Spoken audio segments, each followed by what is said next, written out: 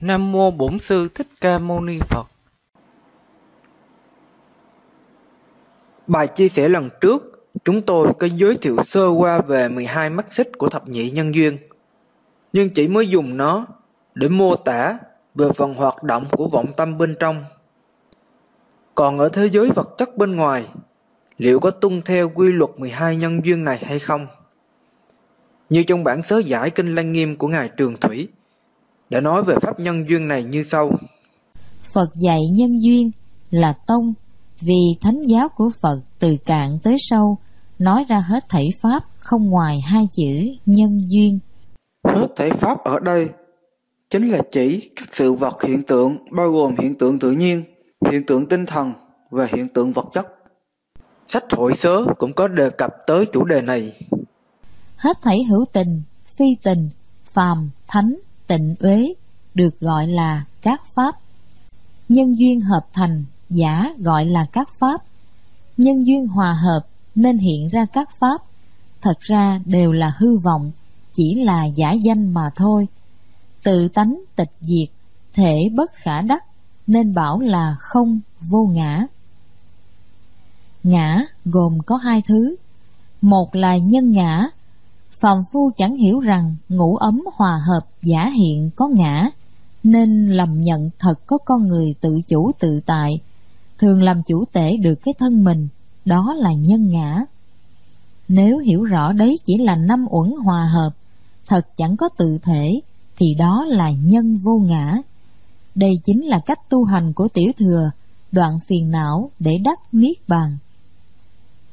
Hai là pháp ngã, cố chấp các pháp thật có tự thể, thật có công dụng thì gọi là pháp ngã. Nếu hiểu rõ các pháp chỉ từ nhân duyên sanh, thật chẳng có tự thể thì gọi là pháp vô ngã. Tiểu thừa chỉ ngộ nhập được nhân vô ngã, Bồ Tát ngộ được cả nhân lẫn pháp vô ngã.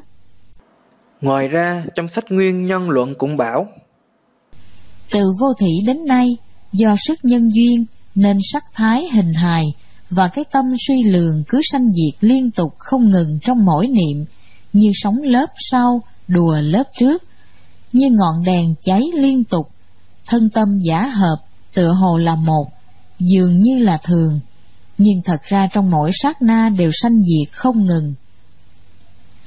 Phàm phu chẳng hay biết, nên chấp đấy là ngã, quý báu cái ngã ấy, sanh khởi ba độc, tham, sân si. Ba độc kích động ý căn, nên phát động thân miệng, tạo tác hết thảy các nghiệp. Pháp thì cũng là do nhân duyên sanh ra, nó cũng chẳng có một cái ngã thể thường hằng bất biến.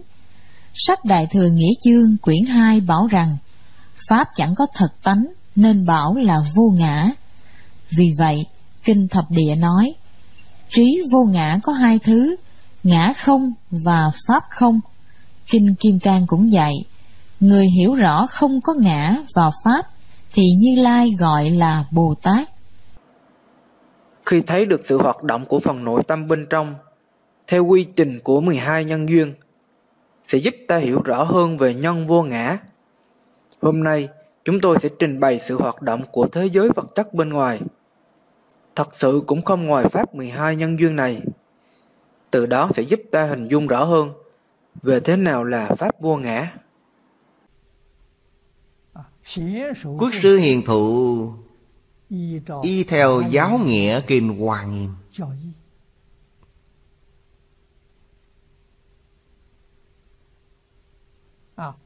chọn ra những điều cốt yếu, viết thành một bài luận là tu hoa nghiêm áo chỉ vọng tận hoàng nguyên quán. Bài luận này không dài. Nhưng nói ra được những điều tinh túy trong kinh hoa nghiêm. Đoạn đầu tiên nói gì? Nói về duyên khởi của vũ trụ sau khi chúng tôi đọc xong, nhìn lại thế giới học thuật trong đời hiện nay, các nhà khoa học, các nhà triết học, họ luận thuật về vũ trụ duyên khởi, sự diễn biến của tất cả dạng pháp, sự có mặt của sinh mạng, đều không sánh được hoàng nguyên quảng trong hoàng nguyên quang cho chúng ta biết bản thể của vũ trụ, nó có định luận không như các nhà triết học ngày nay. Đối với bản thể của vũ trụ vẫn còn có vấn đề. Không có cách nào nói đầy đủ được. Phật pháp nói về duyên khởi của vũ trụ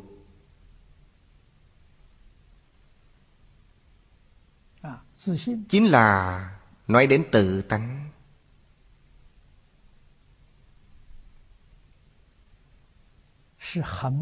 tự tánh không dễ gì lý giải được cũng không có cách nào nói ra được.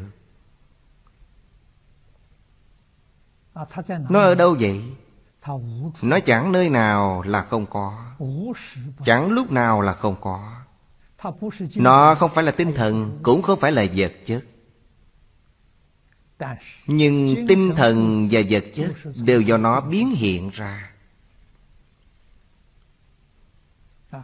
Cho nên trong phật pháp nói tự tánh năng sanh năng hiện.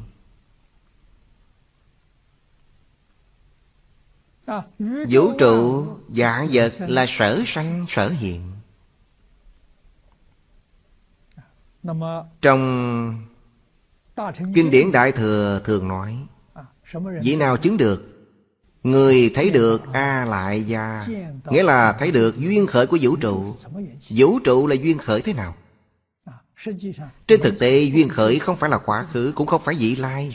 Mà ngay đây Nó không có thời gian Có quá khứ, có vị lai Là có thời gian rồi. Nó không có, ngay đây là bạn thấy được. Trong kinh thường nói Bồ Tát Bát Địa.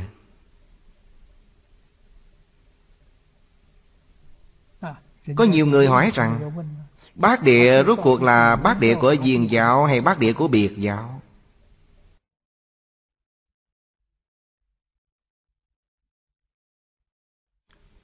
Chúng ta đứng về mặt lý mà phán xét. Thì đại khai Bát địa của biệt giáo là thấy được rồi. Sơ địa của biệt giáo bằng với sơ trụ của viên giáo. Họ đã siêu diệt thập pháp giới. Siêu diệt thập pháp giới nói cách khác Không còn vọng tưởng phân biệt chấp trước nữa. Là ở trong cảnh giới như vậy Cho nên trong tiểu thừa giáo giảng nhiều nhất là về nhân ngã không? Pháp không có nói Nhưng nói không nhiều. Nói không được rốt ráo. Chỉ nhắc qua thôi. Cho nên hàng tiểu thừa Đối với duyên khởi của dạng Họ không hiểu rõ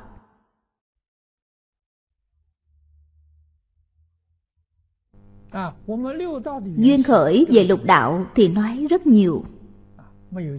Không nói đến duyên khởi của các pháp. Chỉ nói duyên khởi của lục đạo. Cho nên sự tu tập của hàng tiểu thừa Quả vị cao nhất là siêu diệt lục đạo. Lục đạo từ đâu mà có? Lục đạo là kiến tư Hoặc phiền não biến. Đoạn hết kiến tư phiền não Thì lục đạo không còn nữa Lục đạo không còn nữa Cảnh giới xuất hiện ra là tứ thánh pháp giới. Thanh văn, duyên giác, Bồ Tát, Phật. Sau đó nói về thập pháp giới Thêm vào tứ pháp giới Thập pháp giới. Trong thập pháp giới Tứ pháp giới này gọi là tịnh độ.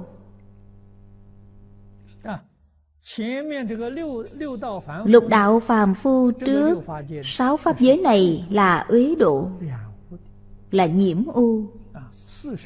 Tứ thánh pháp giới thanh tịnh không nhiễm u. Trong nhiễm u nói đến thiện ác. Bạn tu thiện thì ở ba đường lành. Bạn làm ác thì vào ba đường dữ Cảnh giới này từ trong tâm niệm biến hiện mà có. Đạo lý này trong Đại Thừa Giáo nói rất rõ ràng, minh bạch. Tướng do tâm sanh Cảnh tùy tâm chuyển.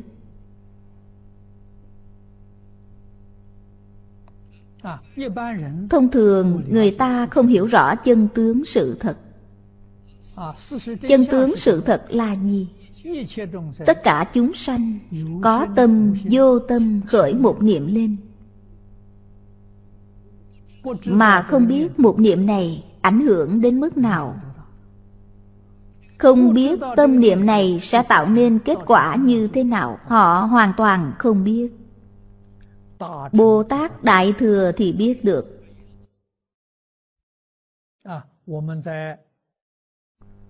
ở trong tu hoa nghiêm áo chỉ vọng tận hoàng nguyên quán. Thấy được ba loại châu biến này Thì không thể lường được.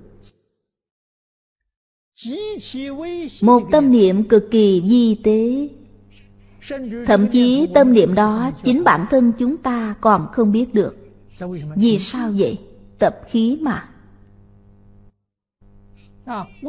Tập khí nhỏ nhoi, Khởi lên một niệm.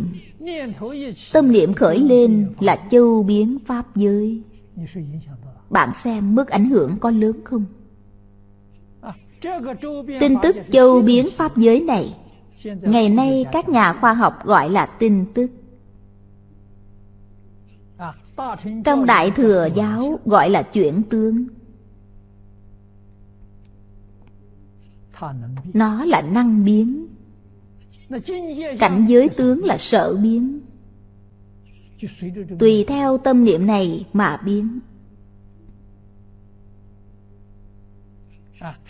Niệm thiện thì biến thành cảnh giới thiện. Niệm ác thì biến thành cảnh giới ác. Ác niệm biến thành ngũ trượt ác thế. Niệm thiện biến thành thế giới cực lạc trong bài chia sẻ lần trước, chúng tôi có giới thiệu về khái niệm đức bên đạo lão. Là cái động hữu hình, nó gồm có hai phần. Phần một là phần động, phần hai là phần hữu hình. Và như đạo lão có nói rằng, cái dụng của đạo tạo ra âm dương nhị nguyên, những cặp đối đãi và từ sự biến hóa chuyển động của âm dương mà phát sinh thế giới thiên hình vạn trạng. Cái động và cái hữu hình chính là hai cặp đối đãi không thể tách rời. Và quan sát ngoài thiên nhiên ta thấy, địa cầu chúng ta đang ở trạng thái ổn định, ít biến động, các hình thể núi non sông ngòi đã hình thành. Còn mặt trời vẫn đang ở trạng thái biến động rất lớn, chưa có một hình thái gì cố định, nó chỉ là một khối khí khổng lồ. So sánh hai thiên thể này ta thấy, địa cầu đại diện cho cái hữu hình, đã có hình thái núi non sông ngòi rõ ràng. Nhưng không phải không có biến động gì, nó cũng có một ít biến động, nhưng không thể so bì được với sự biến động dữ dội như trên mặt trời. Nên mặt trời đại diện cho phần động. Như vậy hai đối tượng này là hai đại diện cho hai mặt đối đãi không thể tách rời. Cả hai phải cùng tồn tại mới có thể phát sinh ra thế giới thiên hình vạn trạng. Trước tiên, chúng ta hãy xem xét về phía mặt trời trước. Xin mời quý vị xem video clip sau để hiểu rõ hơn chu trình hoạt động trên mặt trời.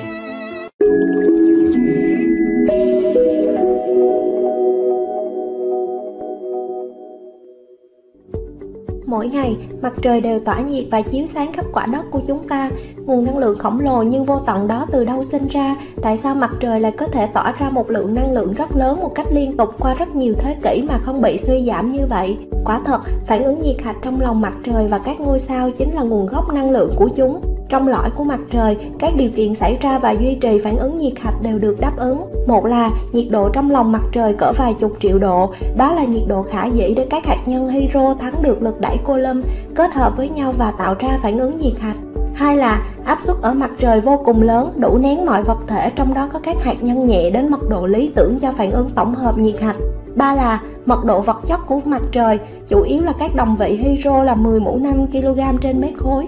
Hydro rất dồi dào, chiếm 74% khối lượng hay 92% thể tích của mặt trời. Với những điều kiện này, vật chất ở trong lòng mặt trời và các ngôi sao được duy trì ở trạng thái plasma, tạo điều kiện diễn ra các phản ứng nhiệt hạch, chính là nguồn gốc năng lượng mặt trời và các ngôi sao. Năng lượng mặt trời và các ngôi sao được tạo thành từ chuỗi các phản ứng nhiệt hạch xảy ra liên tiếp, gọi là chu trình carbon nitơ hoặc chu trình proton, được nhà vật lý Hans Bethe công bố vào năm 1938. Chu trình proton-proton được mô tả như sau. Chu trình bắt đầu bằng sự kết hợp giữa hai hạt nhân hydro thường, tức là hai proton, tạo thành một hạt nhân hydro nặng hay deuteri, giải phóng một positron và một neutrino. Hạt nhân deuteri tạo thành va chạm với một hạt nhân hydro ở lân cận, tạo ra một hạt nhân helium 3 tia gamma đồng thời giải phóng ra năng lượng. Hai hạt nhân helium 3 được tạo thành từ bước thứ hai, tiếp tục kết hợp với nhau để tạo thành một hạt nhân helium 4, giải phóng hai proton và tỏa ra năng lượng. Tổng hợp lại, chuỗi phản ứng nhiệt hạch kết hợp 4 hạt nhân hydro để tạo thành một hạt nhân helium 4, phát ra hai positron, hai neutrino, giải phóng năng lượng khoảng 26,7 mega electron volt. Nguồn năng lượng của các chuỗi phản ứng nhiệt hạch xảy ra trong lòng mặt trời và các ngôi sao chính là nguyên nhân giúp cho mặt trời và các ngôi sao bùng cháy và tỏa sáng, đem năng lượng tới các hành tinh và giúp cho vũ trụ thoát khỏi u tối một cách liên tục qua rất nhiều thế kỷ. Mặt trời là một ngôi sao từ tính khổng lồ. Vật chất tạo thành nó di chuyển theo các định luật điện từ. Tự trường của mặt trời là nguyên nhân gây ra mọi thứ từ các vụ nổ trên mặt trời tạo ra cực quang trên trái đất, cho tới từ trường liên hành tinh và bức xạ mà các tàu vũ trụ phải đi xuyên qua khi di chuyển bên trong hệ mặt trời. Chúng tôi không dám chắc về nơi tạo ra từ trường của mặt trời, có thể là ở gần bề mặt hoặc sâu bên trong mặt trời, hoặc trên một phạm vi sâu rộng. Để quan sát được các trường vô hình này, các nhà khoa học phải nghiên cứu các vật liệu trên mặt trời Tất cả vật liệu đều tồn tại ở trạng thái plasma, một trạng thái giống khí nhưng ở nhiệt độ rất cao và chỉ có các hạt mang điện tồn tại. Khi các hạt này di chuyển dưới tác dụng của nhiệt độ rất cao, từ phản ứng tổng hợp hạt nhân tại tâm mặt trời, chúng tạo ra từ trường. Từ trường này sau đó lại ảnh hưởng ngược lại lên chuyển động của các hạt mang điện. Hệ thống này được gọi là máy phát điện mặt trời. Theo các nhà nghiên cứu, họ đã kết hợp các quan sát và phép đo về cường độ và hướng của từ trường tại bề mặt mặt trời với những hiểu biết về từ học và cách di chuyển của vật chất mặt trời để khám phá các điều chưa biết và mô phỏng từ trường mặt trời. Hệ thống từ trường của mặt trời được cho là có chu kỳ hoạt động khoảng 11 năm. Cứ mỗi đợt phun trào, từ trường lại phản ra một chút cho tới khi đạt đến trạng thái đơn giản nhất. Các nhà nghiên cứu cho biết, khi đã ở trạng thái này, gọi là trạng thái mặt trời tối thiểu. Như ta thấy, bất kỳ một dạng vật chất nào cũng tồn tại hai mặt đối đãi là phần động và phần hữu hình. Và mặt trời cũng không ngoại lệ, nó cũng có hai phần.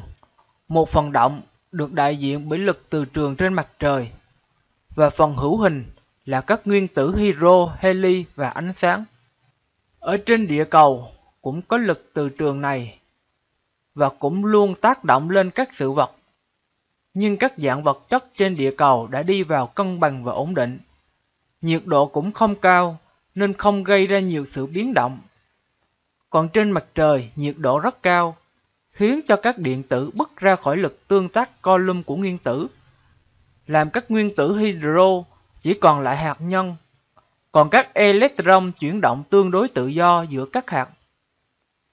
Khi các hạt này di chuyển, chúng tạo ra từ trường. Từ trường này sau đó lại ảnh hưởng ngược lại lên chuyển động của các hạt mang điện. Dưới một điện từ trường rất mạnh này đã cung cấp một động năng rất lớn cho các hạt nhân hydro, khoảng 10 mũ 5 electron volt để các hạt nhân tiếp xúc với nhau, tạo nên phản ứng nhiệt hạch. Trước khi vào chi tiết mối liên hệ của từng mắt xích, chúng tôi đưa ra một hình ảnh ví dụ để mọi người dễ hình dung hơn. Như chiếc xe máy của chúng ta chuyển động được, trước tiên là cần phải có năng lượng. Năng lượng này lấy từ xăng dầu. Xăng dầu là một dạng nhiên liệu được sử dụng để giải phóng năng lượng khi cấu trúc vật lý hoặc hóa học bị thay đổi. Nhiên liệu giải phóng năng lượng thông qua quá trình hóa học như đốt cháy. Khi đốt cháy, làm cho nhiệt độ trong buồng đốt tăng lên, khiến cho khí đốt giãn nở, tạo nên áp suất, tác dụng lên một bít tông, đẩy bít tông này di chuyển đi. Nhiệt độ là một dạng tồn tại của năng lượng, nhà Phật gọi năng lượng là tàn thức, là căn bản vô minh.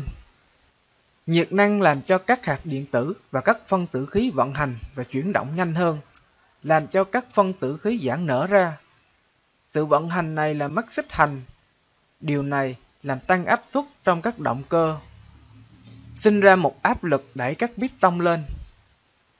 Nhờ cách thiết kế và sự kết hợp giữa các bộ phận với nhau để giúp cho áp lực và áp suất gây ra được chuyển thành cơ năng và nhờ kết hợp thanh truyền và các trục hiểu mà chuyển động tịnh tiến của bít tông thành chuyển động quay. Sự kết hợp để chuyển hóa các lực này gọi là mắt xích thức, là các phương thức kết hợp các thành phần với nhau, làm sao chuyển hóa các lực thành các dạng chuyển động như mình muốn. Việc chuyển động của một chiếc xe là dựa trên sự quay tròn của các bánh xe. Các bánh xe này chính là danh sách, là đối tượng mà các lực cơ học tác động lên. Còn việc bánh xe chuyển động tròn giúp chiếc xe tiến về phía trước là mắt xích lục nhập. Khi chiếc xe di chuyển sẽ có sự cọ sát, xúc chạm, tiếp xúc với nhau. Hoặc với những đối tượng bên ngoài như bánh xe tiếp xúc với mặt đường, làm cho các bộ phận dần dần bị hao mòn. Sự thay đổi này là mất xích thọ.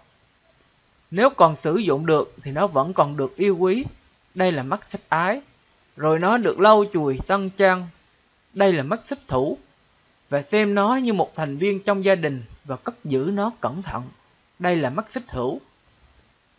Tới khi không còn sử dụng được nữa thì mỗi bộ phận sẽ được phân tách ra tại những chỗ được kết hợp với nhau.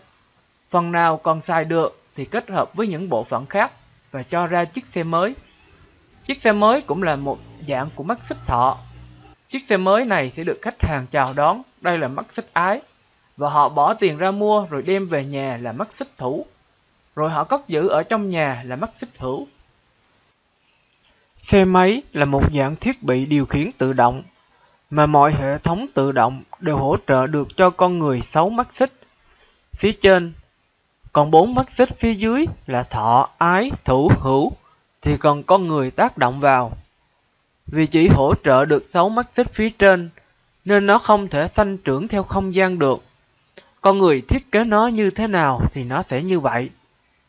Nó chỉ có sự biến chuyển theo thời gian, là sự chuyển động của chiếc xe, hoặc từ chuyển động nào đó tùy theo các thiết bị tự động. Nếu kết hợp chức năng của chiếc máy tính và chức năng điều khiển tự động, thì bộ máy này sẽ phát triển thành dạng robot hay người máy. Nó có thể hỗ trợ con người được nhiều hơn. Nhưng robot có tối tân thế nào cũng có những mắt xích mà mãi mãi nó không bao giờ chế tạo ra được. Như ở máy tính, dù chương trình phần mềm có phức tạp thế nào, cũng thiếu ba mắt xích là mắt xích hành, sự mê chấp đạo lý và si ái. Chính là hai mặt đối đãi không thể tách rời, là căn nguyên tạo nên thế giới nội tâm bên trong mỗi chúng ta. Nên về mặt chương trình phần mềm, người máy không thể tự nâng cao kiến thức và tự chuyển hóa bản thân được. Còn các thiết bị điều khiển thì thiếu bốn mắt xích phía dưới là thọ ái thủ hữu nên về mặt thể xác người máy không thể ăn uống để nuôi dưỡng cơ thể và không thể tăng trưởng như các loài động vật được. Như ta thấy, một con robot làm được những công việc đơn giản cũng là cả một quá trình phát triển công nghệ kỹ thuật hàng thế kỷ của nhân loại. Nên chúng ta hãy trân quý cái thân người này và biết quý trọng thời gian, tranh thủ mọi lúc mọi nơi làm những việc mà chỉ có loài người mới có thể làm được, đó là khả năng chuyển hóa và nâng cao phần tâm thức của mình. Đó mới là việc duy nhất mà chỉ ở loài người mới có.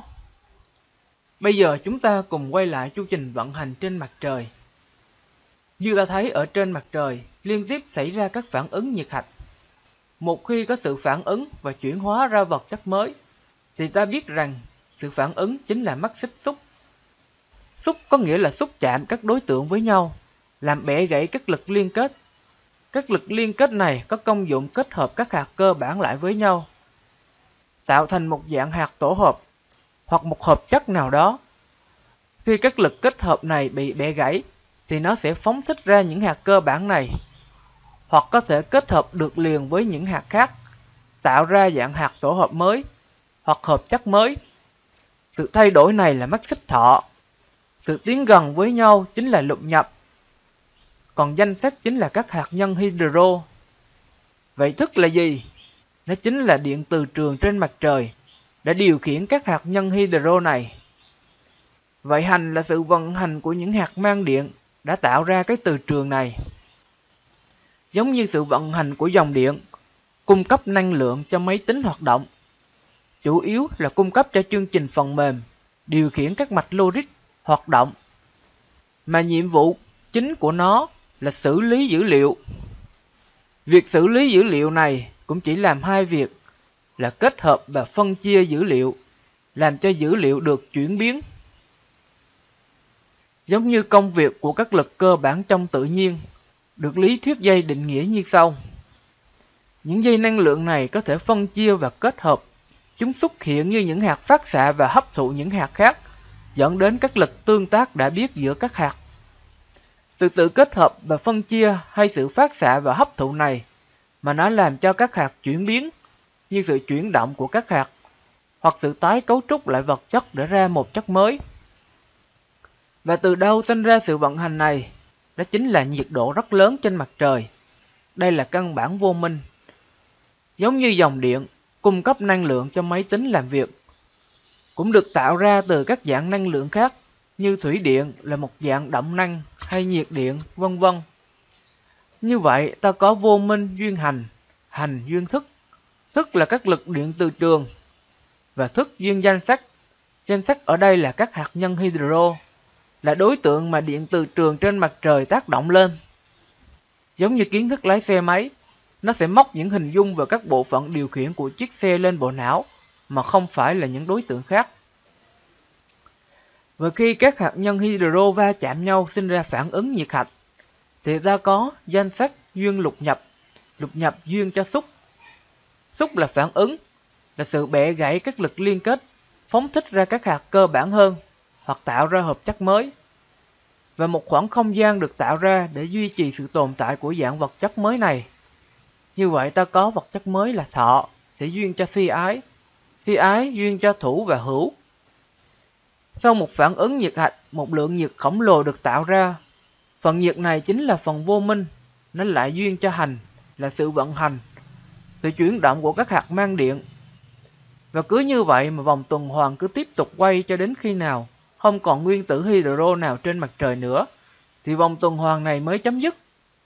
Mà lượng nguyên tử hydro trên mặt trời chính là mắt xích hữu, nên ta có hữu duyên cho vô minh.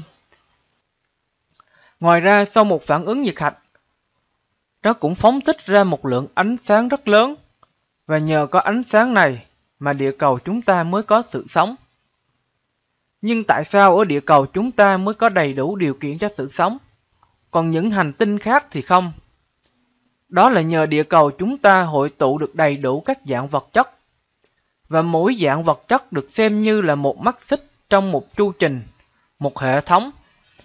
Nếu thiếu một trong những mắt xích này thì cái chu trình, cái hệ thống này không thể hoạt động. Cái hệ thống hai cái chu trình này nó có giống gì với cái hệ thống trong thập nhị nhân duyên không? Chúng ta hãy cùng xem xét tiếp. Ánh sáng mặt trời được tạo ra chủ yếu là do ở mặt trời tồn tại một dạng vật chất đặc biệt, gọi là plasma. Thế nào là dạng vật chất plasma? Xin mời quý vị xem video clip sau để rõ hơn về dạng vật chất này. Nó là gì?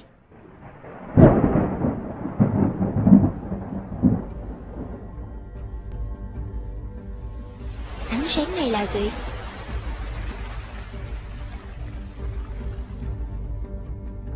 Những thứ trên có thể ít thấy ở trái đất nhưng thực chất thì có tới 99,9% vật chất nhìn thấy được tồn tại dưới dạng plasma. Plasma là một trạng thái của vật chất và nó khác hoàn toàn so với các trạng thái vật chất thông thường khác. Đầu tiên chúng ta sẽ lấy ví dụ nha. Nước đá đang ở trạng thái rắn, chảy ra thành nước chính là trạng thái lỏng. Đun nóng bốc thành hơi, đó là trạng thái khí. Tiếp tục cung cấp nhiệt sẽ làm cho các phần tử hydro và oxy tách nhau ra và chuyển động tự do. Nếu cung cấp thêm nhiệt nữa, các quá trình ion hóa sẽ xảy ra. Electron mang điện tích âm sẽ tách khỏi các nguyên tử, để lại các hạt nhân mang điện tích dương. Hỗn hợp các điện tích di chuyển tự do này được gọi là plasma và ở một nhiệt độ cao thích hợp, bất kỳ loại khí nào cũng có thể tạo thành plasma đó. Không như các trạng thái kia, các hạt điện tích trong plasma hành xử rất khác. Nếu đặt plasma vào từ trường hoặc là điện trường, điện trường sẽ làm tăng tốc các hạt điện tích, còn từ trường sẽ làm chúng di chuyển theo quỹ đạo tròn. Và khi các hạt va chạm với nhau hoặc được tăng tốc, ánh sáng sẽ được tạo ra. Đó cũng chính là những gì mà ta được chiêm ngưỡng trên bầu trời bắc cực kia. Và bạn có tin không, lửa cũng chính là một dạng plasma. Bạn có thể tham khảo ở link trong phần mô tả của video nhé. Không chỉ có ánh sáng, plasma còn có được ứng dụng trong y học, như là tiêu diệt các phần tử gây bệnh trong thức ăn hoặc là dụng cụ y tế nữa đó. Plasma là một dạng vật chất có thể phát ra ánh sáng. Trên mặt trời, dạng vật chất plasma này chiếm một số lượng khổng lồ. Vì vậy mà mặt trời là nguồn cung cấp ánh sáng chủ yếu cho địa cầu chúng ta. Và không khí trên địa cầu nhờ ánh sáng mặt trời truyền năng lượng vào, nên làm cho áp suất của không khí bị thay đổi, từ đó mà tạo ra gió.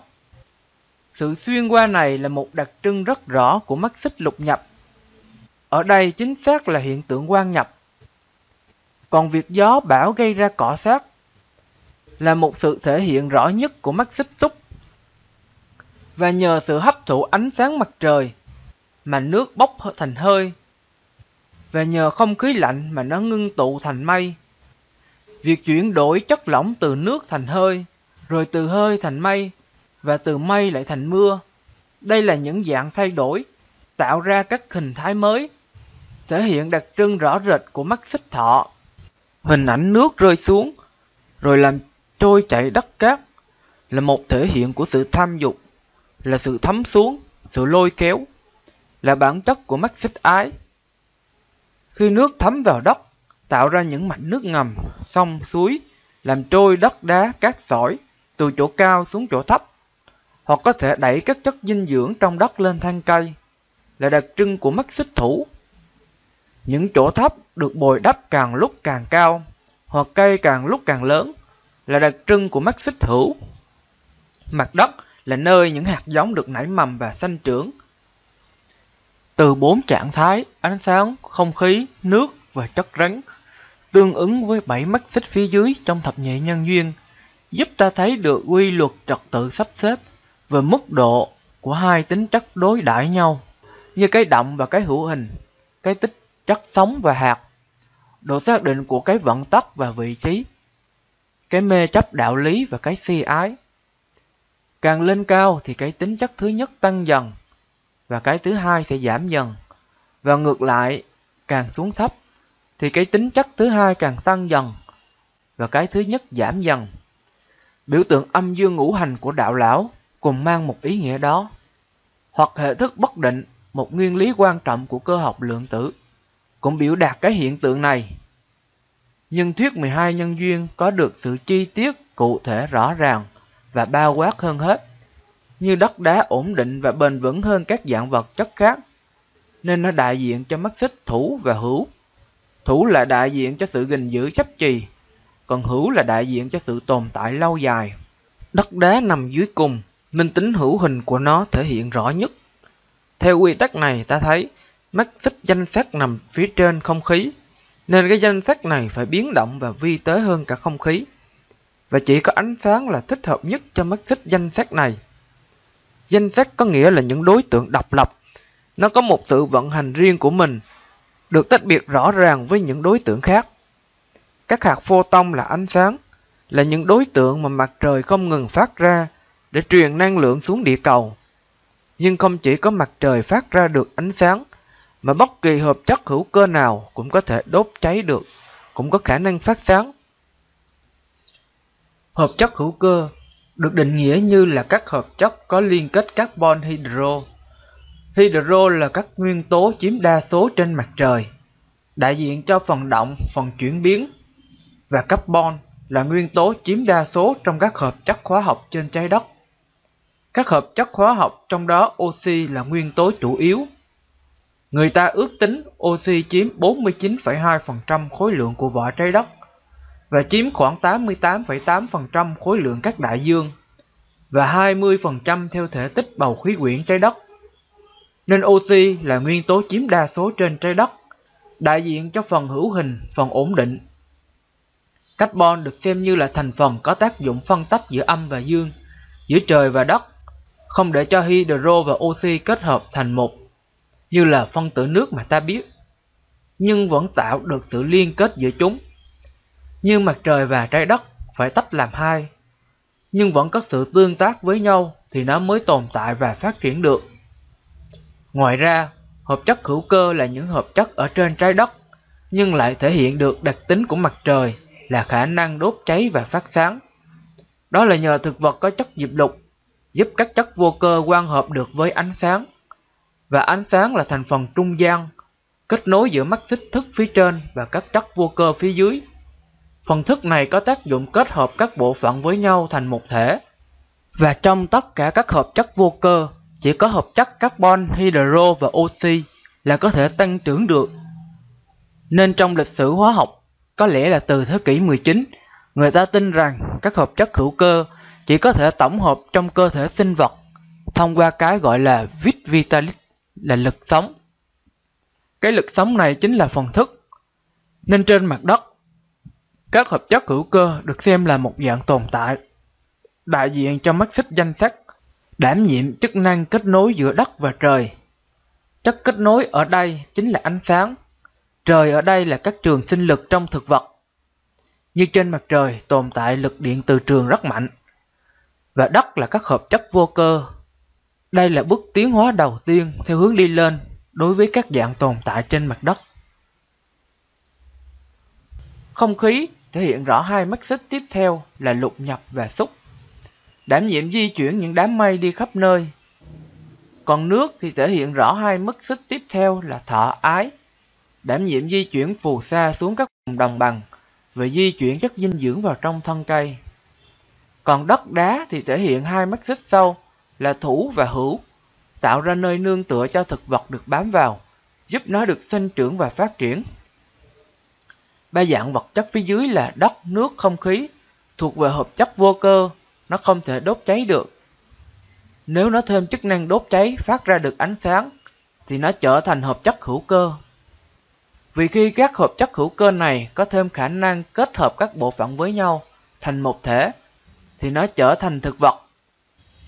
Cây cối có khả năng kết hợp các bộ phận với nhau thành một thể và có thể phân chia thành nhiều cành nhiều lá nên trong lịch sử của ngành hóa học, họ đã phát hiện ra rằng các hợp chất hữu cơ được tạo ra từ các loài sinh vật, bao gồm cả thực vật, là nhờ nó có lực sống. Nhờ có cái lực sống này, nó mới có sự kết hợp và phân chia. Đây là đặc trưng của mắt xích thức, giống như sự kết hợp của các bộ phận xe máy hay sự kết hợp và phân chia của các sợi năng lượng, tạo ra các lực cơ bản trong tự nhiên, hay sự kết hợp và phân chia các dữ liệu tại các cổng logic hay các mạch tích hợp của bộ vi xử lý trong máy tính. Các sự kết hợp này cơ bản là nhờ các lực liên kết. Các lực cơ bản này còn linh động và vi tế hơn cả ánh sáng. Nên ta thấy quy tắc tăng và giảm trong sơ đồ thập nhị nhân duyên về hai loại tính chất đối đãi nhau là rất chính xác. Các lực này tồn tại trong hư không và không thể thấy, nên Phật giáo đặt nó là không đại. Ngoài ra thực vật có thể ra hoa kết quả và từ quả mà nó có hạt. Khi hạt được gieo xuống đất thì nó có thể nảy mầm và phát triển. Nên thực vật còn đại diện cho một mắt xích nữa là mắt xích sinh. Nên từ thực vật trở lên mới bắt đầu được gọi là sinh vật. Và nó là loại vật chất có chức năng cung cấp thức ăn cho động vật. Nên nó còn có tên nữa là thực vật. Nếu thực vật được thêm khả năng tự di chuyển, tự vận hành, thì nó thành động vật Khả năng di chuyển này là nhờ động vật có khả năng hình dung ra được các đối tượng bên ngoài, thành các hình bóng ở bên trong tâm thức của mình. Phật giáo Đại Thừa gọi khả năng này là kiến đại, tương đương với phần si ái của vọng tâm. Nhờ khả năng này nên động vật mới có thể tự vận hành được, nên động vật đại diện cho mắt xích hành, và phải chịu luân hồi sanh tử, nên động vật đại diện thêm một mắt xích nữa là tử. Chết đi rồi lại sinh ra, rồi từ từ tiến hóa, đến khi nào động vật có khả năng nhận thức, có khả năng tu tập chuyển hóa, thì nó trở thành người. Khả năng nhận thức này Phật giáo Đại Thừa gọi nó là thức đại, tương đương với phần mê chấp đạo lý của vọng tâm. Nhờ khả năng này mà nó biết phát minh, sáng chế, biết chuyển hóa năng lượng nhằm phục vụ đời sống vật chất cho con người. Xa hơn bước nữa, nếu họ biết tu tập để mở ra được các luân xa, thì họ có thể trực tiếp nhận được nguồn năng lượng vô tận từ vũ trụ. Nên con người đại diện cho mắt xích vô minh là phần năng lượng. Và tiến xa hơn nữa, nếu người này gặp được viên giáo đại thừa, giáo pháp này có thể giúp họ phá bỏ vô minh, trở thành Phật.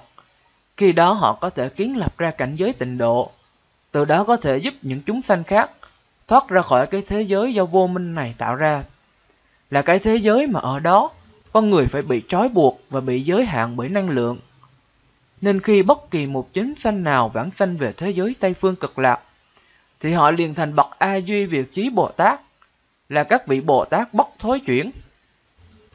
Và ngược lại, nếu ta không tiến hóa lên thành Phật, mà sự si ái càng ngày càng tăng trưởng, thì chúng ta sẽ thói hóa thành các loài động vật, cho tới thành các loài chúng sanh vô tình.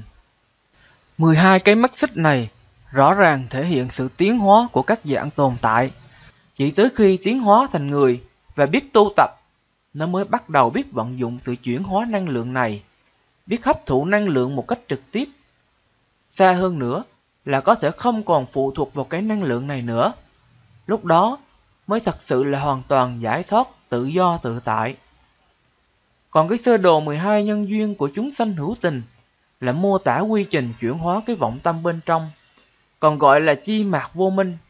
Trong đó, nó có sự tuần hoàn lặp đi lặp lại không bao giờ dứt, cho đến khi nào loại bỏ được cái vọng tâm hay cái cành ngọn vô minh, thì lúc đó mới có thể thoát ra khỏi vòng tuần hoàn không bao giờ dứt này. Nhưng như vậy cũng chỉ là mới thoát ra khỏi lục đạo luân hồi mà thôi. Và họ vẫn chưa phá được phần căn bản vô minh là phần năng lượng. Mà như các nhà khoa học đã phát hiện ra rằng, năng lượng không tự sinh ra cũng không tự mất đi, nó chỉ chuyển hóa từ dạng này sang dạng khác. Nghĩa là một khi còn phụ thuộc vào năng lượng, thì còn phải chịu sự chuyển hóa, sự tuyến thoái. Nên ra khỏi lục đạo luân hồi rồi, thì mới chỉ giúp họ không còn chịu cảnh phần đoạn sanh tử mà thôi. Phần đoạn sanh tử có nghĩa là trạng thái bị mất cái thân này rồi tìm thân khác. Đau khổ hơn cái biến dịch sanh tử rất nhiều. Biến dịch sanh tử giống như sự chuyển hóa trạng thái từ rắn sang lỏng, từ lỏng sang khí và từ khí sang plasma vậy. Nhưng một khi còn sự biến dịch sanh tử này, tức là vẫn còn phụ thuộc vào phần năng lượng, nghĩa là còn chịu sự chuyển hóa, lúc lên lúc xuống. Nên những vị Bồ Tát này vẫn chưa được gọi là A Duy Việt Chí Bồ Tát. A Duy Việt Chí nghĩa là bất thoái chuyển.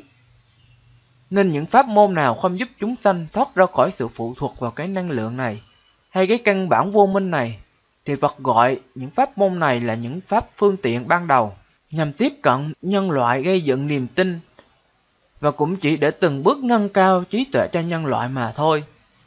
Chứ nó vẫn chưa phải là pháp cứu cánh viên mãn mà Đức Phật muốn chỉ dạy cho chúng sanh. Chỉ có viên giáo đại thừa mới thật sự là viên mãn. Nên pháp môn tịnh độ giới thiệu về cảnh giới Tây Phương cực lạc của Đức Phật A-di-đà, còn gọi là Pháp Nhất Thừa Viên Giáo, được mười phương chư Phật hết lời tán thán. Vì thế mà Ngài Thiện Đạo Đại Sư có nói một câu rằng, chư Phật sở dĩ hưng xuất thế, di thiết di đà bổ nguyện hải. Nhìn vào nấc thang tiến hóa dọc theo 12 cái nhân duyên này, ta thấy con người là dạng tồn tại nằm ở vị trí cao nhất. Nó sở hữu được một năng lực mà chỉ có nó mới có. Nó không chỉ nhận biết được năng lượng và ứng dụng sự chuyển hóa năng lượng vào trong đời sống, mà xa hơn nữa, nó có thể điều khiển các luân xa, thu nhận năng lượng trực tiếp từ vũ trụ, không còn phụ thuộc vào bất kỳ dạng thức ăn nào. Thậm chí nó có thể phá bỏ vô minh để không còn phụ thuộc vào cái năng lượng này nữa. Nếu ý thức được cái năng lực ngoài sức tưởng tượng mà chúng ta đang sở hữu này, có lẽ sẽ không ai dại dột gì phí phạm cái tinh lực mà trời ban này vào những chuyện vô bổ để uổng phí một kiếp người thì thật vô cùng đáng tiếc. Từ sơ đồ 12 nhân duyên biểu hiện sự tiến hóa của bảy dạng tồn tại này không những giúp cho loài người biết chân quý, biết tận dụng cái khả năng trời ban cho, mà nó còn giúp ta giải thích được về độ linh động trong nấc thang tiến hóa của bảy dạng tồn tại này. Mỗi dạng đều có thể tồn tại độc lập hay tách biệt với nhau. Và khi càng lên cao thì độ chuyển biến, độ linh động càng tăng dần. Nhưng để chúng có thể tiến hóa được thì chúng cần phải có sự tương tác và hỗ trợ nhau. Như ta thấy, trái đất và mặt trời, chúng hiện đang tách biệt nhau. Nếu trái đất hòa với mặt trời nhập vào làm một, thì nó sẽ thành mặt trời. Sự chuyển biến quá dữ dội của mặt trời làm nó không thể có sự sống. Còn nếu không có mặt trời, trái đất cũng không có sự sống. Nên trái đất phải tách ra khỏi mặt trời, nhưng vẫn cần phải tương tác với mặt trời để giúp nó tiến hóa. Giống như cái vọng tâm của chúng ta quá linh động, nên nó cần phải hợp tác với thể xác để giúp nó có sự ổn định mà tiến hóa. Nhưng nếu nó hòa với thể xác làm một, thì nó lại giống thực vật, không thể di chuyển được, làm sao mà học hỏi mà tiến hóa. Thể xác giống như chiếc áo giữ ấm cho linh hồn, giống như mặt trời là nguồn năng lượng cung cấp cho địa cầu. Nếu thiếu nó thì linh hồn và địa cầu vẫn tồn tại nhưng không tiến hóa lên được. Nên khi thể xác già yếu hoặc bị hư hoại, linh hồn cần phải kiếm một thể xác khác để mà tiến hóa. Linh hồn bao gồm kiến đại và thức đại nằm trên cùng. Hai thứ này thuộc về tâm thức, là vọng tâm. Mà ta thấy càng lên những mắt xích phía trên, trong cái sơ đồ thập nhị nhân duyên, thì phần động tăng dần, phần hữu hình giảm dần. Nên ta thấy phần hữu hình của vọng tâm gần như bằng không, còn phần động gần như là vô cực. Vọng tâm vô cùng linh động và gần như vô hình, nhưng một ý niệm của nó khởi lên liền có thể trâu biến pháp giới, nên nó có thể tạo ra cả hư không thế giới ở trong đó. Nhưng đối tượng bên ngoài thì không thể thấy cái thế giới đó, nên Phật đặt nó cái tên là vô biểu sắc. Vì nó có sắc tướng, nên trong vọng tâm lại xuất hiện ra hai loại tham ái, tương tự như hai loại tham ái của chân tâm, đó là cái si ái và mê chấp đạo lý. Cái vọng tâm này ta gọi nó là thần thức hay là linh hồn. Vì thế linh hồn có cùng một tính chất của vọng tâm là linh động dễ thay đổi, dễ biến hóa nên khó nắm bắt. Nếu chỉ có phần linh hồn thì nó sẽ biến hóa liên tục, không sao mà nắm bắt được. Vừa có rồi lại mất. Giống như Ngài Khổng Tử đã đặt một thuật ngữ chính xác dành cho nó là du hồn vi biến. Nghĩa là cái phần hồn thì chu du khắp nơi, cực kỳ vi tế và biến hóa liên tục. Nó chuyển biến còn nhanh lẹ hơn cả dạng vật chất plasma ở trên mặt trời, còn hơn cả ánh sáng, hơn cả các lực cơ bản trong tự nhiên. Còn phần thể xác chủ yếu là các hợp chất hữu cơ. Trong đó, địa đại chiếm phần nhiều, nên nó rất dễ nắm bắt, dễ nhận biết, nhưng không thể tự di chuyển được, không thể sinh trưởng và phát triển được. Vì thế mà nó cần phải có sự kết hợp giữa linh hồn và thể xác với nhau, mới có một sự chuyển hóa hài hòa và ổn định được, thì nó mới có thể học hỏi và tu tập được. Giống như mặt trời, cần phải kết hợp với địa cầu, thì mới có sự chuyển hóa một cách hài hòa và ổn định.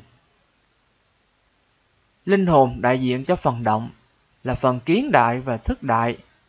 Thể xác đại diện cho phần hữu hình, là các hợp chất hữu cơ. Mà hợp chất hữu cơ lại bao gồm bốn đại là đất, nước, gió, lửa. Nếu thiếu không đại là lực sống, là trường sinh lực, thì nó không thể kết hợp với nhau thành một cơ thể được. Huống chi là có thể sinh trưởng và phát triển. Giống như trên địa cầu, cần phải có hai đại trung gian là phong đại và thủy đại, thì năng lượng từ ánh sáng mặt trời mới có thể tác động lên đất đá được, như di chuyển phù sa xuống các vùng đồng bằng hoặc truyền các chất dinh dưỡng vào trong thân cây. Vì thế mà linh hồn cần phải có một cơ thể có đầy đủ năm đại phía dưới kết hợp với nhau thì nó mới điều khiển cái thể xác đó được, mới có thể sinh trưởng và phát triển được. Và ngược lại, một cái bào thai cần phải có linh hồn trong đó thì nó mới gọi là động vật được. Nếu thiếu thần thức thì nó chẳng khác gì là thực vật cả. Nghĩa là nó chỉ có thể sinh trưởng và phát triển như thực vật mà thôi, không thể tự di chuyển được. Do đó mà có hiện tượng nhập xác. Tuy xác của người khác, nhưng năm đại phía dưới vẫn còn kết hợp với nhau, vẫn còn cái lực sống bên trong, thì dù có thay thế bởi một linh hồn khác, nó vẫn hoạt động được. Còn khi chết không phải là hết, mà do cái lực sống không còn. Tứ đại ở dưới là không đại, hỏa đại, phong đại, thủy đại và địa đại, không thể kết hợp được với nhau. Cái thể xác chỉ như một hộp chất hữu cơ mà thôi, rồi từ từ phân rã. Giống như chiếc máy tính, nếu cái bộ vi xử lý hay cái bản mạch bị hư, thì chiếc máy tính không thể hoạt động được. Mặc dù ổ cứng chứa các bit mã hóa nhị phân vẫn còn nguyên vẹn. Tương tự vậy, bộ não hay lục phủ ngũ tạng nào mà hư hoại, thì con người cũng không thể hoạt động được. Do sự kết hợp bị phá vỡ, làm cho cái lực sống không còn. Mặc dù vọng tâm hay thần thức của nó vẫn còn, không hề bị hư hoại sức mẻ gì. Hoặc khi cái lực sống yếu dần, như khi về già, nó cũng khiến cho sự kết hợp dần dần bị phá vỡ, khiến cho các bộ phận trong cơ thể từ từ bị hư hoại theo. Nhưng thần thức vẫn không bị ảnh hưởng gì. Giống như ổ cứng, một khi vẫn còn lưu giữ những thông tin của chiếc máy tính đó, nó đem qua một chiếc máy tính khác, thì nội dung của nó vẫn y chang chiếc máy tính cũ. Chỉ cấp bề ngoài là có thay đổi thôi, nhưng nội dung vẫn là những gì mà anh đã tích chứa ở cái máy tính trước. Tuy thần thức hay tâm thức vẫn là cái cũ, nhưng khi tái sinh thì chỉ có thân xác là mới, còn tâm thức vẫn như trước không có gì thay đổi. Tổng kết lại ta thấy trong bảy đại, mỗi đại thể hiện rõ một hoặc hai mắt xích nào đó. Trong 12 cái mắt xích nhân duyên, chúng tôi gọi đây là 12 nhân duyên, thể hiện sự tiến hóa của các dạng tồn tại. Trong đó, tâm thức gồm kiến đại và thức đại, cũng tuân theo quy luật chuyển hóa 12 nhân duyên, cũng gồm 12 mắt xích. Chúng tôi gọi đây là 12 nhân duyên của sự chuyển hóa nội tâm và sự chuyển hóa năng lượng trong các dạng vật chất cũng không ngoài quy tắc nhân duyên hòa hợp này. Chúng tôi tạm gọi đây là 12 nhân duyên của sự chuyển hóa năng lượng. Để quý vị dễ hình dung hơn về ba loại nhân duyên này, chúng tôi đã kết hợp ba loại nhân duyên này vào cùng một biểu đồ. Cái ngoài cùng bên phải là phần tâm thức, bao gồm kiến đại và thức đại, đại diện cho 12 nhân duyên của sự chuyển hóa nội tâm. Cái ở giữa là thực vật, là không đại, đại diện cho 12 nhân duyên của sự chuyển hóa năng lượng từ bên ngoài vào để nuôi dưỡng thực vật. Và cái bên trái là bốn đại còn lại là đất, nước, gió, lửa, đại diện cho nhân duyên của sự chuyển hóa năng lượng, sự tương tác giữa các dạng vật chất với nhau. Như ta thấy, sự chuyển hóa năng lượng bởi sự tương tác giữa các dạng vật chất với nhau cũng không ngoài quy tắc nhân duyên hòa hợp mà sinh ra biến hóa nghĩa là mỗi dạng vật chất cũng có đầy đủ 10 mắt xích từ vô minh cho tới hữu, cũng hơi giống với 10 mắt xích của sự chuyển hóa năng lượng trên mặt trời vậy, nên chúng tôi gộp lại làm một. 10 cái mắt xích của sự chuyển hóa năng lượng ở mỗi dạng vật chất như đất, nước, gió, lửa, ánh sáng, còn thể hiện được tính chất lưỡng tính sống hạt của vật chất. Như cái tính chất sống là do bảy mắt xích đầu đảm nhiệm. Nó có tác dụng làm cho vật chất dao động và chuyển hóa. Ba mắt xích sau đảm nhiệm gìn giữ sự chuyển hóa do bảy mắt xích phía trên tạo ra. Sự gìn giữ này càng lâu thì dạng vật chất này càng ít biến đổi, càng dễ nắm bắt thì tính chất hạt càng rõ. Như đất đá thì tính chất hạt rõ ràng hơn tính chất sống.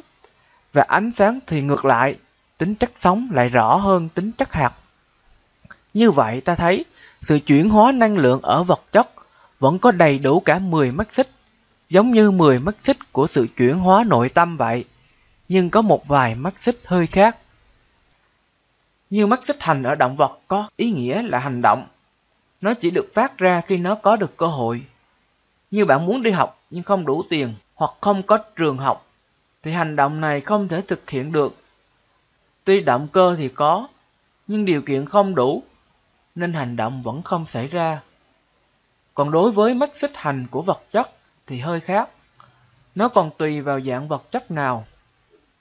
Như chất rắn, gần như không có sự thay đổi gì, mà đa số đều do từ bên ngoài tác động vào, như gió, bão, lũ lụt. Còn ánh sáng ở trên mặt trời thì phát ra liên tục, cho tới hàng tỷ năm nữa vẫn còn. Và tốc độ di chuyển của nó rất là lớn, cỡ 300.000 km trên giây. Nghĩa là sự vận hành của nó diễn ra liên tục và rất nhanh. Còn của chất rắn gần như không có, nó gần như đứng im một chỗ, dao động rất ít. Và sự chuyển biến duy nhất mà nó có là tự phân rã. Đây là một đặc tính mà bất kỳ dạng vật chất nào cũng có. Thêm một mắt xích khác nhau nữa đó là mắt xích sinh. Cái sinh ở động vật thì có sự chủ động của thần thức. Nó có thể tự di chuyển được. Vì như ta thấy, thần thức gồm hai phần là kiến đại và thức đại. Nhìn vào sơ đồ thập nhị nhân duyên ta thấy, kiến đại và thức đại còn nằm cao hơn không đại, là nơi sinh ra các lực cơ bản trong tự nhiên. Nên thần thức không những có sự di chuyển cực nhanh, nhanh hơn các lực cơ bản, hơn cả ánh sáng, mà còn có sự nhận thức, sự chọn lựa. Nó có thể di chuyển đến tận hư không khắp pháp giới để tìm ra được cái mầm sống mới. Và cái mầm sống này phải đủ năm dạng vật chất là rắn, lỏng, khí, plasma và lực trường. Đồng thời phải có được sự kết hợp với nhau và phải tương ứng với cái nghiệp báo, cái phước phần của nó thì nó mới gắn kết được thần thức này vào cái mầm sống đó. Nếu không có thần thức này, mà chỉ có năm dạng vật chất kia kết hợp với nhau. Nếu nó có thể sinh trưởng được, thì chẳng khác gì thực vật. Vì không có phần thức thì làm sao cơ thể có thể hoạt động một cách linh hoạt được. Sự linh động là không cố định, không như các dạng chuyển động của vật chất như ánh sáng hay dòng điện. Nên một cơ thể sống cần phải có đầy đủ sáu dạng tồn tại gồm đất, nước, gió, lửa, lực trường và thần thức kết hợp chặt chẽ với nhau thì mới gọi là động vật được. Còn của thực vật thì nó bị động hơn. Các hạt giống sẽ phụ thuộc vào động vật hoặc gió hoặc nước. Đưa nó tới nơi nào thì nó nằm nơi đó. Còn vật chất vô cơ, mắc xích sinh thì không có. Vì nó không có khái niệm cơ thể một cơ thể là phải bao gồm nhiều bộ phận khác nhau, có sự kết hợp với nhau rõ ràng. Và mỗi bộ phận đảm trách một nhiệm vụ gì đó, như rễ cây hút nước, lá thì quan hợp, vân vân. Hợp chất vô cơ hay hợp chất hữu cơ thì không có đặc tính này, mà nó chỉ có sự chuyển biến thành trụ hoại không. Thành chính là mắt xích thọ, trụ chính là mắt xích hữu, hoại không chính là lão tử không có mắt xích sinh. Như vậy ta thấy các hợp chất hữu cơ và vô cơ có thêm một mắt xích nữa là hoại và không. Như vậy bất kỳ dạng vật chất vô cơ hay hữu cơ nào cũng chỉ có 11 mắt xích mà thôi vì nó thiếu mắt xích xanh. Ngoài ra cái vô minh trong 11 nhân duyên của vật chất gọi là căn bản vô minh khác với cái vô minh của 12 nhân duyên trong tâm thức chúng sanh hữu tình. Để phân biệt với căn bản vô minh, nhà Phật đặt nó cái tên là chi mạc vô minh, hay còn gọi là cành ngọn vô minh, là do những nhận thức sai lầm vô ích và những hình bóng giả tạm hư vọng, được cất giữ trong tâm thức tạo ra, nên còn gọi là kiến tư phiền não. Chỉ cần đắc A-la-hán là đoạn trừ được. Còn căn bản vô minh chính là phần năng lượng, phải từ các vị Pháp thân đại sĩ, hay còn gọi là A-duy vượt trí Bồ Tát mới bắt đầu đoạn trừ được. Ngoài ra nó còn một mắt xích hơi khác, đó là mắt xích danh sắc. Đối với 12 nhân duyên của chúng sanh hữu tình, mắt xích này được đổi lại thành vô biểu sắc. Nghĩa là nó chỉ có ở dạng hình tướng, bóng dáng, tồn tại trong tâm thức của ta mà thôi. Và không có hiện ra dạng vật chất, để mà các giác quan của ta có thể biết được. 12 nhân duyên trong kinh điển thì không nhắc tới vô biểu sắc, mà chỉ nhắc tới danh sắc. Và từ đó mà khiến biết bao vị tổ sư đại đức suy dẫn một cách rối rắm. Các mắt xích không ăn rơi gì với nhau, do có một sự lầm lẫn ở mắt xích danh sắc này, nên đã diễn giải theo lối tam thế lưỡng trùng. Và cuối cùng là 12 nhân duyên của Đức Phật, chỉ mang tính lý thuyết, cũng có dính dáng về sự luân hồi, nhưng không lý giải được rõ ràng minh bạch cho lắm, nên cũng không giúp ích gì nhiều cho việc tu tập cả. Phần tâm thức tuy vô hình, nhưng tính chất trong từng mắt xích của 12 nhân duyên của sự chuyển hóa vọng tâm bên trong, cũng không khác gì mấy so với 12 nhân duyên của sự chuyển hóa năng lượng bên ngoài. Nó cũng có sự tăng giảm theo từng vị trí của nó trong sơ đồ 12 nhân duyên. Càng lên cao thì cái tính chất thứ nhất tăng dần và cái thứ hai thì giảm dần. Và ngược lại, càng xuống thấp thì cái tính chất thứ hai càng tăng dần và cái thứ nhất giảm dần. Và từ tính chất của các dạng vật chất hữu hình bên ngoài thì giúp ta thấy rõ hơn bản chất của các dạng tâm lý vô hình bên trong, giúp ta có thể chuyển hóa và nâng cao tâm thức của mình một cách dễ dàng hơn. Như chất rắn thì cứng chắc và dễ nhận biết hơn chất lỏng, và chất lỏng ít linh động hơn chất khí, nhưng dễ nhận biết hơn chất khí, và chất khí lại ổn định hơn plasma vì sự cứng chắc và ổn định của chất rắn, nên nó ít chịu sự chuyển hóa, sự hòa nhập khi có sự tương tác giữa các sự vật với nhau. Nên ta thường hay dùng chữ va chạm đối với chất rắn, còn đối với chất lỏng, chất khí và ánh sáng thì ta dùng chữ giao thoa.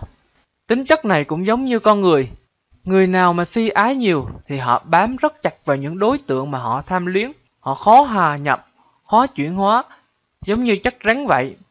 là vì thế dễ gây ra đổ vỡ khi có sự va chạm nào đó, dễ gây ra xung đột và chiến tranh. Nên Phật còn gọi si ái là phiền não chướng, là thứ gây ra cho con người nhiều phiền não. Nên muốn bớt phiền não, người tu hành cố gắng hạn chế cái si ái này càng nhiều càng tốt.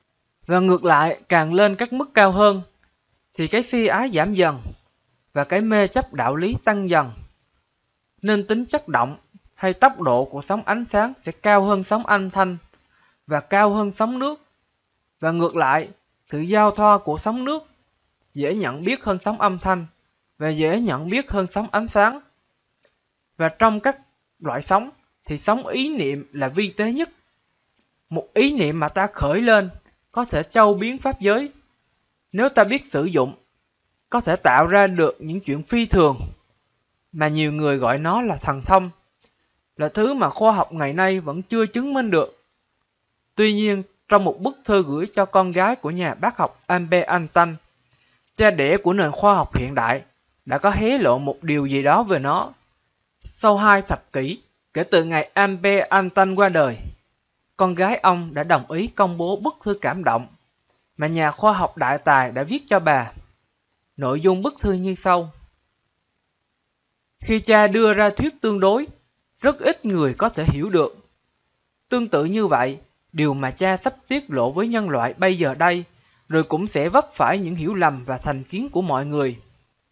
Cha mong con giữ kín những bức thư này của cha hàng năm, thậm chí hàng thập kỷ nếu cần thiết.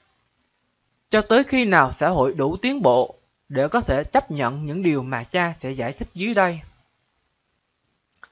Có một loại lực vô cùng mạnh mẽ mà cho tới nay khoa học cũng không thể tìm ra lời giải đáp chính xác dành cho nó. Lực này bao gồm và chi phối tất cả những lực khác. Nó thậm chí còn đứng sau bất kỳ hiện tượng nào được vận hành bởi vũ trụ, mà chúng ta vẫn chưa thể lý giải. Đó chính là tình yêu. Khi những nhà khoa học tìm kiếm một học thuyết chung cho vũ trụ, họ đã bỏ sót lực vô hình nhưng mạnh mẽ nhất này. Tình yêu là ánh sáng chiếu rọi những người biết trao và nhận nó. Tình yêu là lực hấp dẫn, bởi nó khiến người ta có thể bị cuốn hút bởi một ai đó. Tình yêu cũng chính là sức mạnh, bởi nó sinh sôi nảy nở và giúp con người không bị vùi dập bởi sự ích kỷ mù quáng. Tình yêu hé lộ và gợi mở. Vì tình yêu chúng ta sẵn sàng sống và hy sinh. Tình yêu chính là Thượng Đế, và Thượng Đế cũng chính là tình yêu. Thứ lực này giải thích cho tất cả mọi điều và mang ý nghĩa đến cho cuộc sống. Để có một hình ảnh tượng trưng cho tình yêu, cha đã thực hiện một sự thay thế đơn giản trong phương trình nổi tiếng nhất của mình. Thay vì sử dụng công thức E bằng mc bình phương, ta chấp nhận rằng năng lượng hàn gắn thế giới có thể đạt được bằng tình yêu được sản sinh với tốc độ ánh sáng bình phương, thì chúng ta hoàn toàn có thể đi đến kết luận. Tình yêu chính là một lực mạnh vô song, bởi nó không thể có bất kỳ giới hạn nào. Sau những sai lầm của nhân loại trong việc sử dụng và điều khiển những nguồn lực trong vũ trụ, dẫn tới phản tác dụng, đã đến lúc chúng ta phải nuôi dưỡng mình bằng một loại năng lượng khác. Nếu loài người muốn tồn tại, nếu ta muốn tìm ý nghĩa của sự sống, nếu ta muốn bảo vệ thế giới và tất cả những loài hữu tình khác, tình yêu chính là câu trả lời đầu tiên và duy nhất. Có thể chúng ta chưa sẵn sàng để chế tạo một quả bom tình yêu, một thiết bị đủ mạnh để hoàn toàn phá hủy sự ghét bỏ, ích kỷ và tham lam đang tàn phá hành tinh này. Nhưng mỗi cá nhân vẫn luôn mang trong mình một chiếc máy phát tình yêu vô cùng mạnh mẽ và luôn sẵn sàng để được giải phóng. Lysen, con yêu, khi chúng ta học cách cho và nhận nguồn năng lượng vũ trụ này, chúng ta phải thừa nhận rằng tình yêu có thể chinh phục tất cả, vượt qua bất kỳ chướng ngại nào, bởi tình yêu chính là tinh túy của sự sống. Qua bức thư ta thấy, anh ta muốn nói về một thứ tình yêu rất lạ, là thứ lực bao gồm và chi phối tất cả những lực khác. Nó thậm chí còn đứng sau bất kỳ hiện tượng nào được vận hành bởi vũ trụ, mà các nhà khoa học vẫn chưa thể lý giải. Khi những nhà khoa học tìm kiếm một học thuyết chung cho vũ trụ, họ đã bỏ sót lực vô hình nhưng mạnh mẽ nhất này. Thứ lực này giải thích cho tất cả mọi điều và mang ý nghĩa đến cho cuộc sống. Và mỗi cá nhân vẫn luôn mang trong mình một chiếc máy phát tình yêu vô cùng mạnh mẽ này và luôn sẵn sàng để được giải phóng. Cái thứ lực bí ẩn này phải chăng là niệm lực? Và ta thấy khi nghiên cứu sâu, càng sâu vào thế giới vi mô, con người càng phát hiện ra được những nguồn năng lượng càng lớn, như dòng điện tuy nhỏ bé nhưng có thể điều khiển những cỗ máy khổng lồ. Và sâu hơn nữa là hạt nhân, nguyên tử vô cùng nhỏ nhưng nó có thể phá hủy một thành phố trong tích tắc. Và bây giờ là ý niệm. Liệu nó có thể làm được điều gì? Phải chăng là cái mà người ta gọi là thần thông? Nhưng tại sao trong kinh Phật Ngài lại không chú trọng đến thần thông? Vì như ta thấy trong ý niệm, linh hồn, thần thức hay vọng tâm, cái mê chấp đạo lý là cao nhất trong tất cả các dạng vật chất, cao hơn cả lực cơ bản trong tự nhiên, nên sự linh động, sự biến hóa và sức mạnh của nó cũng khó mà nghĩ bàn. Có thể đúng như Ngài Anh Tanh đã tiên đoán. Nhưng trong kinh Thủ Lăng Nghiêm Phật có nói rằng Vì do vọng tưởng của các ngươi mê chấp đạo lý mới thành lỗi lầm, từ đó sanh ra si ái. Si ái sanh trưởng khắp nơi nên có tánh hư không. Sự mê chấp tiến hóa không ngừng nên sanh ra thế giới. Vậy thì mười phương vô số quốc độ đều do vọng tưởng kiến lập. Cái vọng tưởng này chính là sự mê chấp đạo lý. Đây là sự mê chấp đạo lý của chân tâm, nên nó mới có được cái năng lực phi thường như vậy. Nhưng dù phi thường tới đâu, dù cao tới mức nào, mà không phải là điều chân thật, thì Phật Pháp đều phải buông xả. Cái mê chấp đạo lý của chân tâm còn phải buông xả, huống chi là cái mê chấp đạo lý của vọng tâm, lại càng phải buông xả hơn nữa. Cái mê chấp đạo lý của vọng tâm này là gì? Đó chính là cái kiến thức, nhận thức, cái ý thức của ta. Nó chỉ giúp con người biết sáng tạo, biết vận dụng các quy luật tự nhiên, nhằm nâng cao đời sống vật chất của con người. Nhưng khi nâng cao đời sống vật chất mà không nâng cao trí tuệ hiểu biết về mặt tinh thần, thì nó sẽ làm tăng thêm lòng tham ái của con người, khiến cho dục vọng của con người càng ngày càng tăng trưởng. Đây là nguyên nhân chính khiến xã hội càng ngày càng đồng loạn. Con người tuy sung sướng hơn về mặt vật chất, nhưng về mặt tinh thần thì càng ngày càng xa xúc. Nên sự mê chấp đạo lý của vọng tâm không chỉ là một chướng ngại lớn trong việc buông bỏ được cái vọng tâm, mà còn gây ra nhiều tác hại cho xã hội, cho môi trường. Như Đức Lão Tử có nói rằng, cái tự nhiên bao giờ cũng có lợi, chứ không có hại. Để thế thì cứ phó mặc cho tự nhiên làm việc. Nhúng tay vào guồng máy thiên nhiên, không khỏi mang họa vào mình. Tức là không nên can thiệp vào tự nhiên, để con người sống theo tự nhiên và cùng với tự nhiên tiến hóa. Đức Lão Tử còn nói rằng, đạo thường không làm, tức là thuận với lẽ tự nhiên, nhưng không cái gì mà nó không làm. Trong trời đất cái gì cũng có nguyên nhân, có sống mới có chết, có làm mới có thất bại, có cạnh tranh mới có người cạnh tranh với mình. Muốn được bình yên vô sự thì đừng cạnh tranh, mình không tranh thì thiên hạ không ai cạnh tranh với mình. Chủ nghĩa vô vi là làm thế nào mà trừ được những nguyên nhân sanh ra những điều có hại, thì mới tránh được tai họa. Lão Tử nói thêm, Thánh Vương không nên làm cho dân sáng, mà nên làm cho dân ngu. Chữ ngu ở đây có nghĩa đặc biệt như câu đại trí nhược ngu. Cái ngu của bậc thánh nhân là đại trí. Cái ngu của dân ở đây là không tham vọng, sống giản dị tự nhiên. Nên nhiều tôn giáo phương Đông không chú trọng phát triển khoa học kỹ thuật, không muốn giáo dục những tri thức kiến thức thế gian cho con người là vậy. Nhà Phật thì gọi những thứ này đều là sở tri chướng, đều là chướng ngại. Vì những tư duy kiến thức này đều xuất phát từ sự mê chấp đạo lý của vọng tâm mà ra. Mà đã là vọng, nghĩa là hư vọng, thì đều chướng ngại con người tiếp cận tới chân lý sự thật. Nhưng buông bỏ được cái mê chấp đạo lý của vọng tâm thì chỉ lên được những cảnh giới cao nhất trong lục đạo luân hồi mà thôi. Muốn cao hơn nữa, phải buông bỏ cả vọng tâm thì mới thoát ra khỏi lục đạo luân hồi. Còn để thoát ra khỏi 10 pháp giới, tức là vượt lên khỏi tứ thánh pháp giới nữa, chúng ta phải phá tiếp 11 cái nhân duyên của chúng sanh vô tình là cái hệ thống do mê mất chân tâm gây ra, thì lúc đó mới về được pháp giới nhất chân.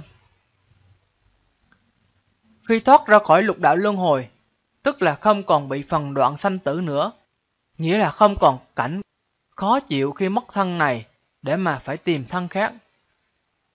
Nhưng vẫn còn biến dịch sanh tử, giống như vật chất, có sự chuyển hóa trạng thái từ rắn sang lỏng, từ lỏng sang khí, từ khí sang plasma có nghĩa là không còn có khái niệm sanh tử như ở động vật nữa. Cái vọng tâm này giống như các bích mã hóa nhị phân, cất chứa ở trong ổ cứng. Nếu máy tính không có sử dụng cái công nghệ mã hóa nhị phân này, thì nó trở thành một thiết bị điều khiển mà thôi. Và sự biến dịch sanh tử này là sự chuyển biến của tinh thần từ cảnh giới thanh văn lên duyên giác bằng việc buông bỏ tập khí chấp trước. Lúc này cái hữu mới gọi là sạch sẽ không còn một tí vọng tâm nào. Rồi từ duyên giác lên Bồ Tát, bằng sự buông bỏ tâm phân biệt, chính là cái mê chấp đạo lý của chân tâm. Và từ Bồ Tát lên quả vị Phật trong 10 pháp giới, là nhờ buông bỏ tập khí tâm phân biệt. Cái tâm phân biệt này hoạt động giống như cái bộ vi xử lý của các thiết bị điều khiển vậy. Nếu các thiết bị điều khiển mà bỏ mất bộ vi xử lý, thì nó hoạt động chẳng khác gì một cái tivi còn và muốn thoát ra khỏi 10 pháp giới, thì phải buông bỏ vọng tưởng, là cái căn bản vô minh là phần năng lượng, lúc đó mới có thể thoát ra khỏi 10 pháp giới. Cái vọng tưởng này cũng giống như các cuộn băng, lưu những bộ phim của các đài truyền hình vậy. Nếu bỏ hết mấy cái cuộn băng này đi, thì các đài truyền hình chẳng có gì để mà phát, thì cái màn hình của tivi sẽ trống không. Lúc đó mới là thấy được cái bản thể của những hình ảnh hiện trên cái màn hình đó. Lúc đó mới là phá được một phần vô minh, chứng được một phần pháp thân. Tới lúc này họ mới được gọi là A Duy Việt Chí Bồ Tát. Đây là hướng đi của các pháp môn thông thường, mà nhà Phật gọi là nan hành đạo. Là con đường tu tập rất gian nan và rất lâu dài, mới có thể buông bỏ được cái phần năng lượng này. Trong khi đó, pháp môn tịnh độ chỉ cần chúng sanh nào dù là phàm phu, từ các loài động vật, ngạ quỷ hay các chúng sanh dưới địa ngục, Một khi được vãng sanh về thế giới Tây Phương cực lạc, thì liền không còn phụ thuộc vào phần năng lượng này, nên cũng được gọi là A Duy Việt Chí Bồ Tát. Nên pháp môn tịnh độ còn gọi là pháp môn dị hành đạo. Dị là dễ dàng thẳng tắc, một khi đã vãng sanh về thế giới Tây Phương cực lạc thì không còn bị thoái chuyển nữa. Cứ như vậy mà tu tập cho đến khi tập khí của căn bản vô minh, tức là phần năng lượng hoàn toàn sạch sẽ, không còn dính một chút tàn thức nào nữa. Lúc này mới là đắc được quả vị vô thượng chánh đẳng chánh giác. Khi đã thành bậc vô thượng chánh đẳng chánh giác rồi, lúc đó mới có thể kiến lập được cảnh giới tịnh độ, mới có thể phổ độ được chúng sanh, và có thể làm được những chuyện phi thường hơn nữa. Như trong Kinh Duy Ma Cật có nói rằng, Trụ trong giải thoát chẳng thể nghĩ bàn, Bồ Tát bức lấy một tam thiên đại thiên thế giới như thợ đồ gốm, véo lấy một miếng đất sét, đặt trong bàn tay phải rồi ném khỏi hàng xa thế giới. Nhưng chúng sanh trong thế giới ấy chẳng biết, chẳng hay nơi mình đang trụ, lại đem đặt trả về chỗ cũ, khiến cho chúng sanh đều chẳng có ý tưởng là thế giới bị đem đi hay trả lại, mà bổn tướng của thế giới này vẫn như cũ. Và Bồ Tát đem chúng sanh trong một cõi Phật đặt trong bàn tay phải, bay đến mười phương hiện bày khắp hết thảy, nhưng chẳng lay động bổn xứ. Trụ trong giải thoát chẳng thể nghĩ bàn cũng chính là buông xả hết tất cả những vọng tưởng phân biệt chấp trước mới có thể giải thoát. Như Kinh Hoa Nghiêm Phật nói, tất cả chúng sanh đều có trí huệ đức tướng như lai, do vì vọng tưởng chấp trước mà không được chứng đắc. Thập nhị nhân duyên là rất quan trọng, nếu không vận dụng được nó trong việc hành trì và tu tập, tức là ta đã hiểu sai về nó. Nên trong bài chia sẻ lần sau, chúng tôi sẽ trình bày những phương pháp có thể giúp chúng ta ứng dụng được 12 mắt xích này trong việc tu tập nhằm chuyển hóa và nâng cao tâm thức của mình. Như vậy mới có thể thấy được sự lợi ích của Pháp thập nhị nhân duyên mà Đức Phật đã tìm ra và truyền lại cho nhân loại. Xin chào tất cả mọi người. Nam Mô A Di Đà Phật.